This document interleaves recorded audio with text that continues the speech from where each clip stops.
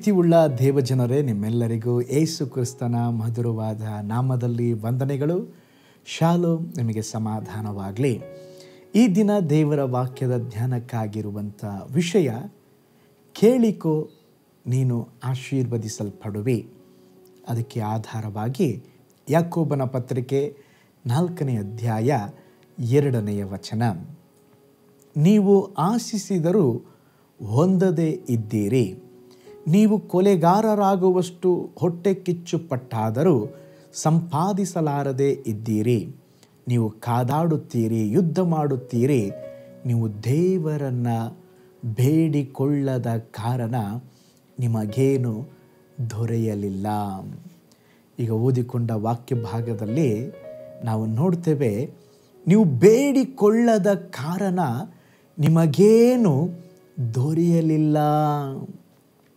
ನಮ್ಮ ಜೀವಿತದಲ್ಲಿ ದೇವರ ಆಶೀರ್ವಾದವನ್ನು ಪಡೆದುಕೊಳ್ಳಬೇಕಾದರೆ ನಾವು ದೇವರ ಬಳಿಯಲ್ಲಿ ಬೇಡಿಕೊಳ್ಳಬೇಕು. ದೇವರು ನನ್ನನ್ನು ಆಶೀರ್ವದಿಸುತ್ತಾರೆಂಬಂಥ ಒಂದು ಅಪೇಕ್ಷೆಯಿಂದ ನಂಬಿ ಬೇಡಿಕೊಳ್ಳುವುದಾದರೆ ದೇವರು ನಿಮ್ಮನ್ನು ಆಶೀರ್ವದಿಸುತ್ತಾರೆ. ಅಧಿಕವಾಗಿ ಪ್ರಾರ್ಥಿಸುವ ಮನುಷ್ಯ ದೇವರಿಂದ ಅಧಿಕವಾದ ಆಶೀರ್ವಾದವನ್ನು ಪಡೆದುಕೊಳ್ಳುತ್ತಾನೆ. ಯೋಹಾನ್ ಬರೆದ ಸುವಾರ್ತೆ ಹದಿನಾಲ್ಕನೇ ಅಧ್ಯಾಯ ಹದಿನಾಲ್ಕನೆಯ ವಚನ ಹೇಳುತ್ತದೆ, ನೀವು ನನ್ನ ಹೆಸರಿನಲ್ಲಿ ಏನಾದರೂ ಬೇಡಿಕೊಂಡ್ರೆ ಅದನ್ನು ನೆರವೇರಿಸುವೆನು. ಯೋಹಾನ್ ಬರೆದ ಸುವಾರ್ತೆ ಹದಿನಾರು ಇಪ್ಪತ್ನಾಲ್ಕನೆಯ ವಚನ ಹೇಳುತ್ತದೆ, ನೀವು ನನ್ನ ಹೆಸರಿನ ಮೇಲೆ ಯಾವುದೊಂದನ್ನೂ ಬೇಡಿಕೊಂಡಿಲ್ಲ. ಬೇಡಿಕೊಳ್ಳಿರಿ, ನಿಮಗೆ ಸಿಕ್ಕುವುದು, ಆಗ ನಿಮ್ಮ ಆನಂದ ಪರಿಪೂರ್ಣವಾಗುವುದು. ಕನ್ನಡ ಭಾಷೆಯಲ್ಲಿ ಒಂದು ಮಾತು ಹೇಳ್ತಾರೆ, ಅಳುವ ಮಕ್ಕಳಿಗೆ ಹಾಲು ದೊರೆಯುತ್ತದಂತೆ. ಅಂದರೆ, ಕೇಳುವವರಿಗೆ ಸಿಕ್ಕುತ್ತದೆ. ಪಾಸ್ಟರ್, ದೇವರು ನನ್ನನ್ನು ಬ್ಲೆಸ್ ಮಾಡಬೇಕು, ದೇವರ ಆಶೀರ್ವಾದ ನನಗೆ ಬೇಕು ಅಂತೇಳಿ ಸುಮ್ಮನೆ ಕೂತ್ಕೊಂಡ್ರೆ ದೇವರು ಕೊಡೋದಿಲ್ಲ. ನಾವು ದೇವ ಸಮ್ಮುಖದಲ್ಲಿ ನಾವು ಕೇಳಬೇಕು.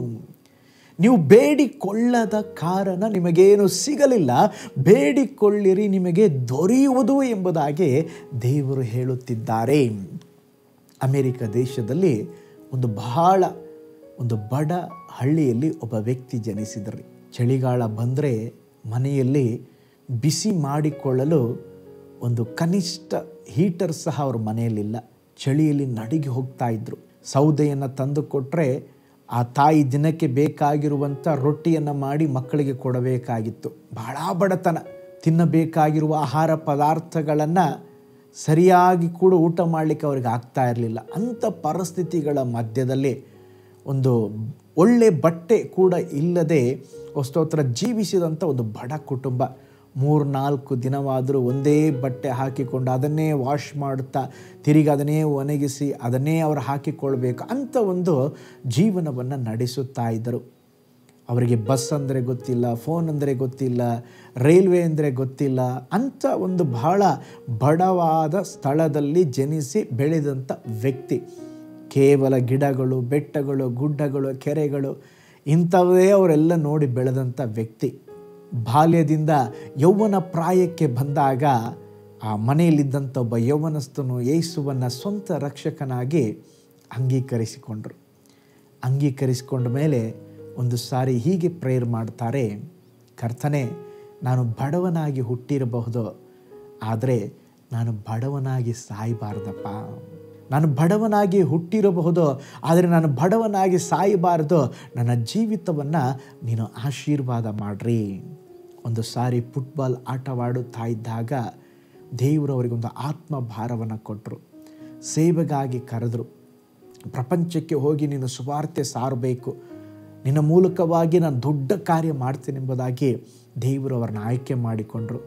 ಆ ಫುಟ್ಬಾಲ್ ಗ್ರೌಂಡಲ್ಲೇ ಮೊನಕಾಲೂರಿ ದೇವರಿಗೆ ಒಪ್ಪಿಸಿಕೊಟ್ಟು ಕರ್ತನೆ, ನಿನ್ನ ಸೇವೆ ಮಾಡ್ತೇನೆ, ನನ್ನನ್ನು ಉಪಯೋಗಿಸು ಎಂಬುದಾಗಿ ಪ್ರಾರ್ಥನೆ ಮಾಡಿದರು. ಅವರು ಯಾರು ಗೊತ್ತಾ? ಬೇರೆ ಯಾರೂ ಅಲ್ಲ. ಬಿಲ್ಲಿ ಗ್ರಹಂ ಎಂಬಂಥ ದೇವ ಸೇವಕರು. ಈಗ ಕರ್ತನಲ್ಲಿ ಅವರು ನಿದ್ರೆ ಹೊಂದಿದ್ದಾರೆ. ಆದರೆ ಅವರು ಹೋಗದ ದೇಶ ಇಲ್ಲ. ಅವರು ಸುವಾರ್ಥ ಕೂಟಕ್ಕೆ ಜನ ಲಕ್ಷ ಲಕ್ಷ ಜನ ಬರ್ತಾ ಇದ್ರಂತೆ. ದೇವರಿಗಾಗಿ ಅನೇಕ ಯೌವನಸ್ಥ ಮಕ್ಕಳು, ಸಾವಿರಾರು ಜನರು ಎಷ್ಟೋ ಕೋಟಿ ಆತ್ಮಗಳಿಗೆ ಅವರೊಬ್ಬರೇ ಸುವಾರ್ತೆ ಸಾರಿದ್ದಾರಂತೆ. ಒಂದು ಬಡತನ ಕುಟುಂಬದಲ್ಲಿಂದ ಬಂದಂಥ ಬಿಲ್ಲಿ ಗ್ರಹಂ ಅವರನ್ನು ದೇವರು ಬ್ಲೆಸ್ ಮಾಡಿ ಅವರ ಸಂಸ್ಥೆಯ ಮೂಲಕ ಇಡೀ ಪ್ರಪಂಚವನ್ನೇ ದೇವರು ಆಶೀರ್ವಾದ ಮಾಡಿದರು. ಅವರು ಮಾಡಿದೊಂದು ಚಿಕ್ಕ ಪ್ರಾರ್ಥನೆ, ದೇವರೇ, ನಾನು ಬಡವನಾಗಿ ಜನಿಸಿರಬಹುದು, ಬಡವನಾಗಿ ನಾನು ಸಾಯಬಾರದು. ಪ್ರೀತಿಯುಳ್ಳ ದೇವ ಜನರೇ ನಮ್ಮ ದೇವರು ಆಶೀರ್ವದಿಸುವಂಥ ದೇವರು. ನಿನ್ನ ಸ್ಥಿತಿ ನನಗೇನು ಗೊತ್ತಿಲ್ಲ, ನಿನ್ನ ಹಿನ್ನೆಲೆ ನನಗೆ ಗೊತ್ತಿಲ್ಲ, ಆದರೆ ಒಂದು ಮಾತ್ರ ಸತ್ಯ, ನಿನ್ನನ್ನು ಆಶೀರ್ವದಿಸುವಂಥ ದೇವರಿದ್ದಾರೆ. ನಿನ್ನ ಸ್ಥಿತಿಗತಿಗಳನ್ನು ಮಾರ್ಪಡಿಸುವಂಥ ದೇವರಿದ್ದಾರೆ. ನೀವು ದೇವ ಸಮ್ಮುಖದಲ್ಲಿ ಕೇಳಿಕೊಳ್ಳುವಾಗ ಅನೇಕ ತಂದೆ ತಾಯಿಗಳು ಇದನ್ನು ವಾಚ್ ಮಾಡುತ್ತಾ ಇರ್ಬೋದು. ಪಾಸ್ಟರ್ ನಮ್ಮ ಮಕ್ಕಳನ್ನು ನಾವು ಕಷ್ಟಪಟ್ಟು ಬೆಳೆಸ್ತಾ ಇದ್ದೇವೆ. ಬಹಳ ಅಗತ್ಯತೆಯ ಮಧ್ಯದಲ್ಲಿ ಜೀವಿಸಿ ನಾವು ಬೆಳೆಯುತ್ತಾ ಇದ್ದೇವೆ. ದೇವರಲ್ಲಿ ಪ್ರಾರ್ಥನೆ ಮಾಡ್ರಿ. ಹಾಲಲುಯ ಕರ್ತನು ನಿನ್ನನ್ನು, ನಿನ್ನ ಕುಟುಂಬವನ್ನು ಉನ್ನತಕ್ಕೇರಿಸುತ್ತಾರೆ ಹಲಲೂಯ. ಉನ್ನತವಾದ ಆಶೀರ್ವಾದಗಳಿಂದ ದೇವರು ತುಂಬಿಸಿ ನಡೆಸುತ್ತಾರೆ. ನಿನ್ನ ಮಕ್ಕಳನ್ನು ಬ್ಲೆಸ್ ಮಾಡ್ತಾರೆ. ಹಲಲೂಯ. ಯಾಕೋಬನ ಹಾಗೆ ಒಂದು ಹೋರಾಡಿ ಪ್ರಾರ್ಥನೆ ಮಾಡ್ರೆ. ಯಾಕೋಬನು ದೇವರೊಟ್ಟಿಗೆ ಒಂದು ಫೈಟ್ ಮಾಡ್ದ, ದೇವರೇ, ನೀನು ಆಶೀರ್ವದಿಸದ ಹೊರತು ನಾನು ನಿನ್ನನ್ನು ಬಿಡುವುದಿಲ್ಲ. ಇವತ್ತು ದೇವ ಸಮ್ಮುಖದಲ್ಲಿ ಯಾರು ಹೋರಾಡಿ ದೇವ ಸಮ್ಮುಖದಲ್ಲಿ ಪ್ರಾರ್ಥಿಸುತ್ತಾರೋ ಅಂಥವರ ಜೀವಿತಗಳನ್ನು ದೇವರು ಬ್ಲೆಸ್ ಮಾಡ್ತಾರೆ. ಒಂದು ನಿಮಿಷ ಕಣ್ಗಳನ್ನು ಮುಚ್ಚೋಣ ದೇವರನ್ನ ದೃಷ್ಟಿಸೋಣ. ಓ ಸ್ತೋತ್ರ. ನಿನ್ನ ಜೀವಿತದಲ್ಲಿ ಆಶೀರ್ವಾದ ಬೇಕಾ, ನಿನ್ನ ಜೀವಿತದಲ್ಲಿ ಒಂದು ಉನ್ನತಿಯ ಅನುಭವ ಬೇಕಾ. ದೇವ ಸಮ್ಮುಖದಲ್ಲಿ ಪ್ರಾರ್ಥಿಸೋ. ಕರ್ತನೆ, ನನ್ನ ಸ್ಥಿತಿಯು ಹೀಗೇ ಆಗಿದೆ ಸ್ವಾಮಿ.